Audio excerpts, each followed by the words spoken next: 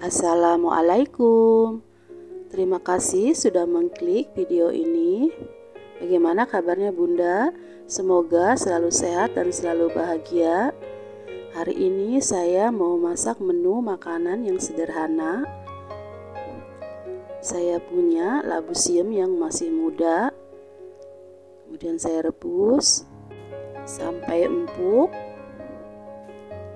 Ini bumbu sambalnya.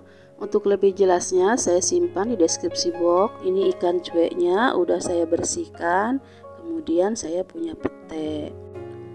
Dan saya punya terong sudah saya cuci bersih. Kemudian digoreng. Sambil menonton, jangan lupa tekan tombol loncengnya, like, subscribe, dan komen agar saya lebih bersemangat untuk membuat video-video yang bermanfaat. Terima kasih.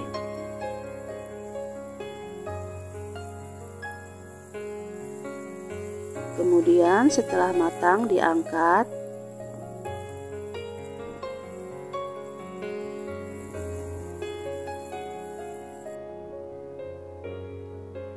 dan dengan minyak yang sama lalu saya goreng ikannya.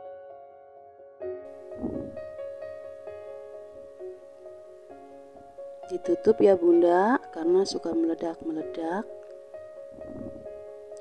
Dan ini labu siamnya sudah matang dan sudah empuk. Kemudian diangkat. Dan kompor yang sebelahnya saya sedang menggoreng ikannya. Kemudian dibalik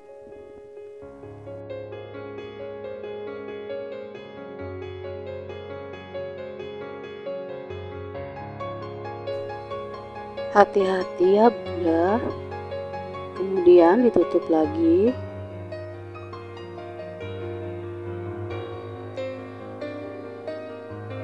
Dan ini sudah matang. Dientas atau diangkat. Kemudian saya menggoreng bawang merah, bawang putih, dan juga tomat. Tunggu sampai agak layu. Kemudian dimasukkan cabenya. Untuk tingkat kepedasannya bisa disesuaikan dengan selera bunda-bunda ya.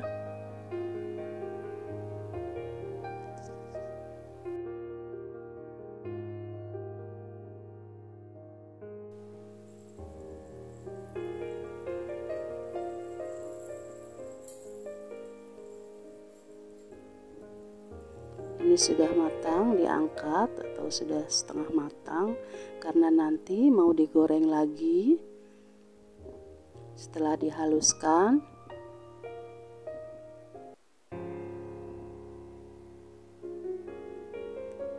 kemudian dihaluskan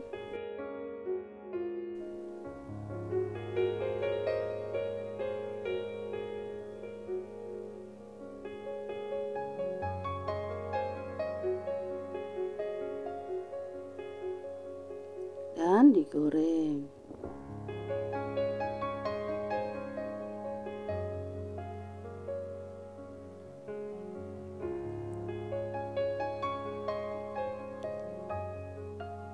Tambahkan garam, penyedap rasa, dan gula. Kemudian diaduk agar meresap atau merata bumbunya.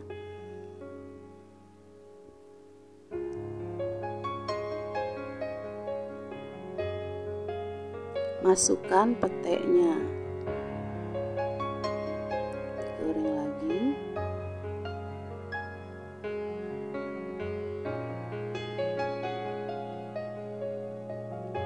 Ini saya tambahkan masako setengah sendok teh agar lebih mantap rasanya. Masukkan ikan yang digoreng tadi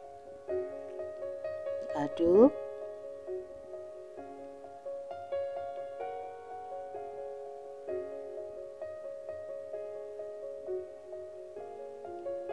ini sudah matang kemudian diangkat. Lalu siap disajikan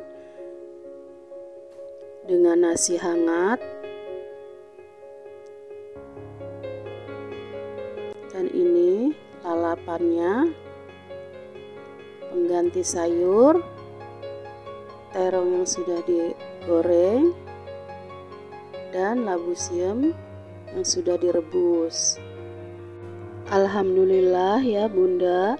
Kita harus selalu bersyukur dengan rezeki yang sudah diberikan. Terima kasih sudah hadir dan mampir ke channel saya. Semoga resepnya bermanfaat dan bunda-bunda suka ya Assalamualaikum warahmatullahi wabarakatuh